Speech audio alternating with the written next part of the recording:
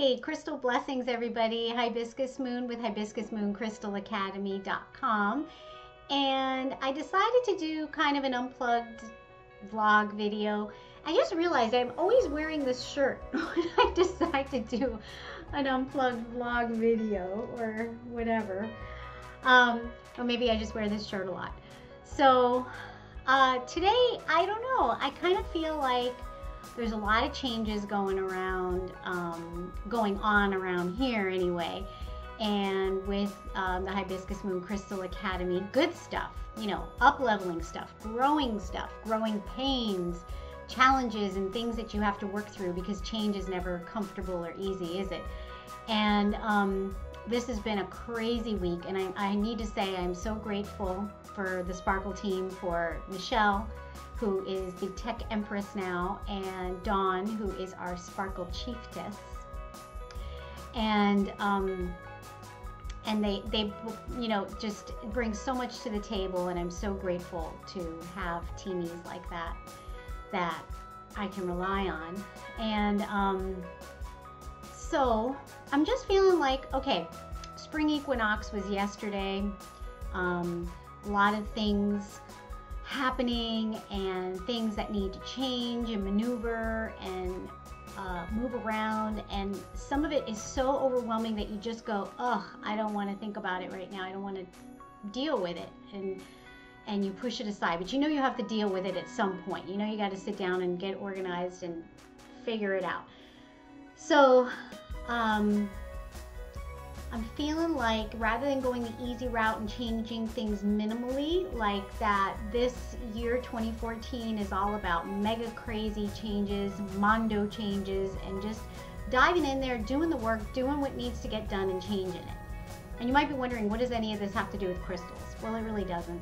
And I was going to rack my brain for a good topic or come up with another snazzy video to put out this week but I just wasn't feeling it. I just wanted to talk to you and not be forced to have to talk about crystals and that kind of thing.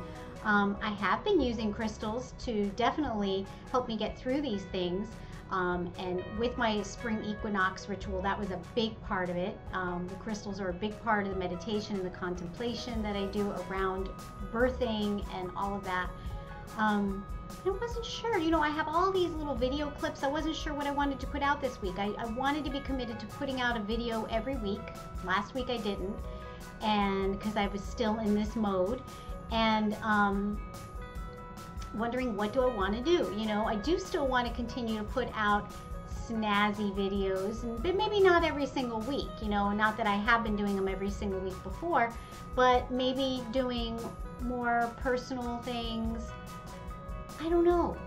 I just feel like there needs to be a change in the routine and a change of how I'm doing things.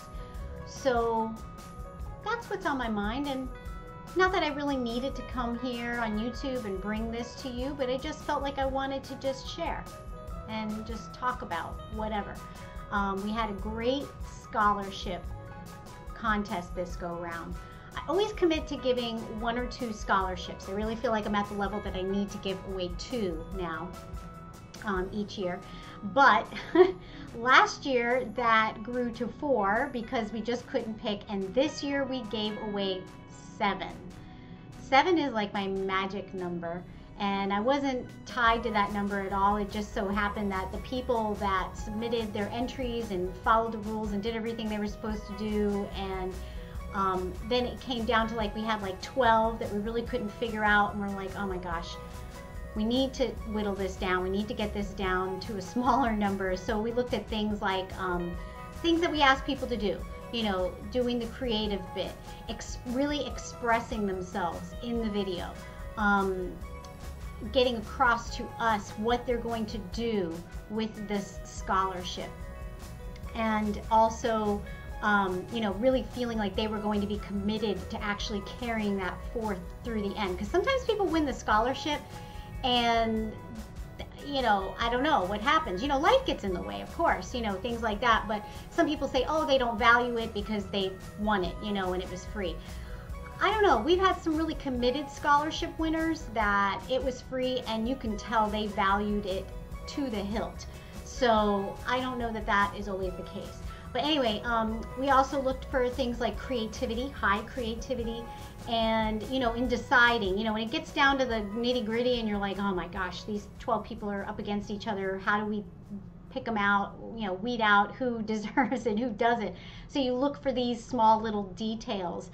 Um, and the other thing was. Um, like the last deciding factor was social media sharing. You know, if it came down to two people that were really, really good, neck and neck, and this person didn't share anything at all on social media, but this person did, then those little bitty brownie points were going to push them up and, and get them into the, the front runner and you know win over the other person who didn't share at all. If it was just like neck and neck and we didn't know what to do that wasn't a huge deciding factor but if it was like one of those we definitely use those aspects to whittle it down a little bit. Um, so but that was a fun thing that was really great and i like doing that i love doing the scholarships. Um, I feel like that's putting good, you know, mojo out there into the universe. And it's also getting everybody out there to, you know, go beyond their comfort zone. I know, I know doing, sitting here and doing a video is not comfortable. And, you know, pushing you outside your boundaries, your normal boundaries of what you do routine day to day, like I was talking about before, is a really good way to send out messages to the universe of what it is you want to cultivate, what it is you're trying to manifest. Not trying that you are manifesting. And then putting the intention out there and stating it publicly, um, your intentions, really helps to hold you accountable to whatever it is, whatever your goals are. So I've got definite goals this year. I've got things I want to do that I know I've been put here on the earth to do and to share with the other beings on this planet. And I am here to share big time. So it's not just about the scholarships. That's a small little portion of what I'm here to do. I know that. So um, that's that. So uh, what else do I have? I think that's really about it. Um, spring is in the air, flowers are blooming, crystals, sacred space is changing around a bit. Today, big time, I have something coming that is going to change my sacred space quite a bit, expand it, um, bringing in a water element. So maybe I'll share that with you a little bit. Also, another cool thing that I hope to be bringing to you in videos is a lot of people have been sending me stuff um, to review, to look at. And not all of it's going to end up in a video, but if it's something that really resonates with me, something that I really know makes a deep, profound change for me, then I'll share it with you. You know, it kind of misses the mark a little bit because if things don't resonate for me, they might resonate really, really great with other people, but I can only comment and share with what I know and what I experience and feel. So, um, things that really, you know, tickle my fancy and that I'm really loving and that are crystal related, I'll be bringing those to you in videos also and sharing with you that stuff. So, that's something exciting and new. So I hope this video didn't bore you. I just wanted to connect and say hi and um, and just kind of check in with you all on a more little personal level. Okay, everybody, have a lovely, lovely day, and I will talk to you soon. Namaste.